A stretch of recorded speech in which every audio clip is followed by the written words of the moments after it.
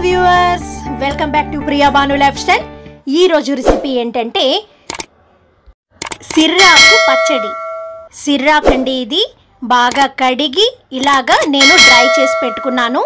మరి విధానం చూద్దాము. ఒక కట్ట సిర్రాకు అండి ఇది. ఆనియన్ చిన్న ఆనియన్ ఒకటి.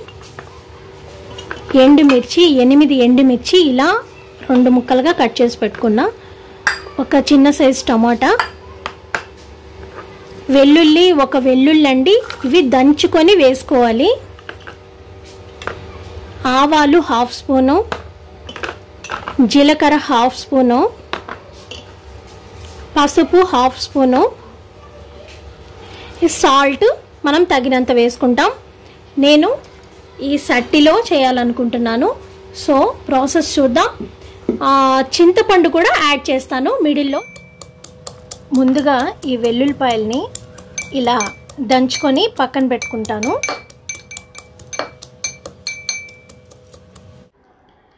ఈ సట్టిలో ఇప్పుడు నేను ఆయిల్ ఒక ఫోర్ స్పూన్స్ దాకా ఆయిల్ వేసాను. ఆవాలు యాడ్ చేస్తున్నాను. జీలకర్ర. ఇవి కొద్దిగా వేయించుకుంటున్నాను. మీకు ఒక మాట చెప్పాలి. సట్టి ఎప్పుడు కూడా స్టవ్ మీద డైరెక్ట్గా పెట్టేయకండి. కొద్దిగా ఆయిల్ వేసి ఆ తర్వాతే మీరు స్టవ్ మీద పెట్టండి. ఓకేనా? మర్చిపోద్దండి వేగిన తర్వాత ఈ వెల్లుల్లి దంచి పెట్టుకున్నాను కదా ఇప్పుడు యాడ్ చేస్తున్నాను.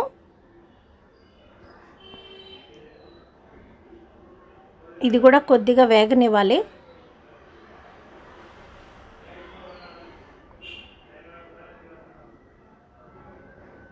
ఇప్పుడు ఆనియన్స్ యాడ్ చేస్తున్నాను.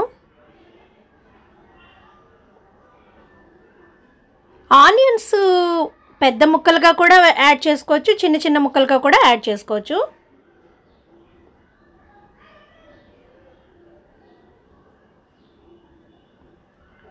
ఎండుమిర్చి కూడా యాడ్ చేసేసాను.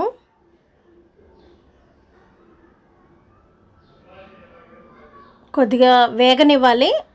ఎండుమిర్చి కూడా కొద్దిగా వేగాలి. అంటే ఎనిపేటప్పుడు మళ్ళీ మనకి మెత్తగా అవ్వదు. సో ఎండుమిర్చి కొద్దిగా వేగనివ్వాలి ఆయిల్లో. మరీ బ్లాక్ అయిపోకూడదండి. లో ఫ్లేమ్లోనే వేగనివ్వాలి. టమాటా యాడ్ చేసేసాను. టమాటా కూడా లో ఫ్లేమ్లో కాసేపు మగ్గనివ్వాలండి. ఎందుకంటే టమాటా కూడా మనకి మెత్తగా అవ్వాలి. ఒక్క నిమిషం నేను మూత వేసుకొని పెడుతున్నాను.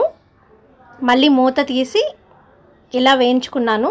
కొద్దిగా మెత్తగా అయ్యాయి కదా.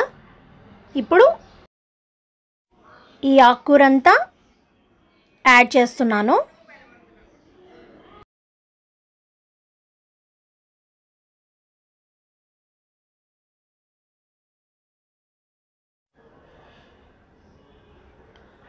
పసుపు హాఫ్ స్పూన్ వేసానండి.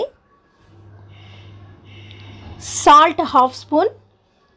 చింతపండు హాఫ్ లెమన్ అంత సైజులో వేసాను. సాల్ట్ కొద్దిగా ఎప్పుడు తక్కువ వేసుకోండి. లాస్ట్లో కావాలంటే మీరు టేస్ట్ చూసుకొని వేసుకోవచ్చు. ఎందుకంటే ఇలాంటి పచ్చళ్ళు అంటే అంత చాలా తక్కువ అవుతుంది కదా పచ్చడి. మనకి తెలియదు అనమాట సాల్ట్ ఎక్కువైపోతే మళ్ళీ ప్రాబ్లం కదా. సో చూసి జాగ్రత్తగా వేసుకోండి.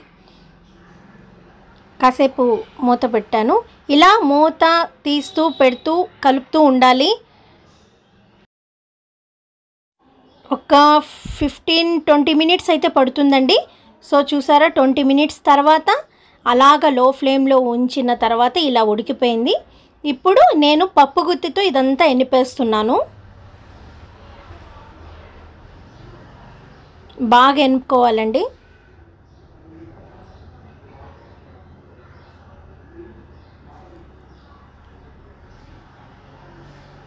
ఇలా ఎనుపుకొని తింటేనే బాగుంటుందండి. కొందరు మిక్సీ కూడా వేసుకుంటారు.